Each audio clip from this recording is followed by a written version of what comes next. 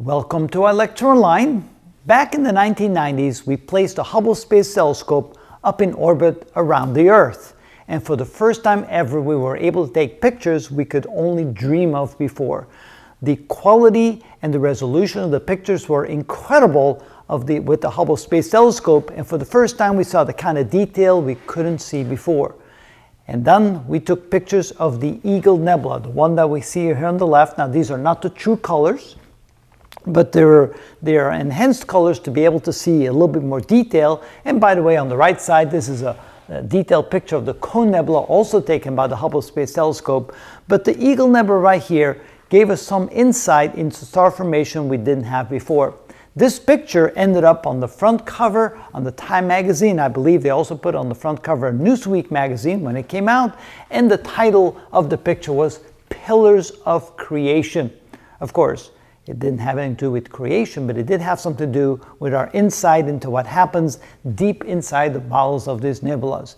Notice that there's some very bright stars shining some very high energy UV radiation, kind of clearing out and blowing away some of the nebulas. And then it gave us detail of things like this right here, where we could actually see places where stars appear to be forming as we saw it in real time. Of course, not the moment of the time because those pictures were many light years away, but we could at least see that yes, on those locations there where stars appear to be forming as the radiation was driving away the nebula around them so that the forming stars, the protostars that are forming there could actually be seen on the pictures themselves. Unbelievable, we had never seen that before.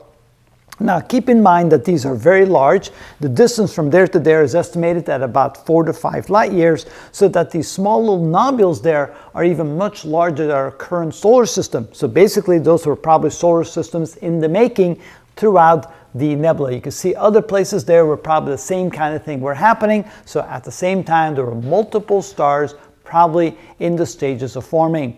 And so now, not only did we have evidence from our theory, looking at blue stars being in existence in the nebulas all over the galaxies, we could also see actual pictures of stars in formation.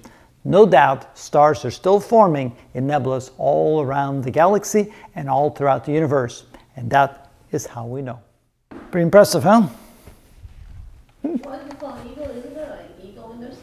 Yeah, the, you can see the eagle, the, it's the, the, the face right here. So this is the neck and the head of the eagle, and then this is one of the wings. So if you turn it sideways, then the eagle is flying this way, now the eagle is flying this way. But you cannot see a lot of the other part of the Eagle Nebula right here. And this is the part of the Eagle Nebula you normally don't see that clearly. Yep.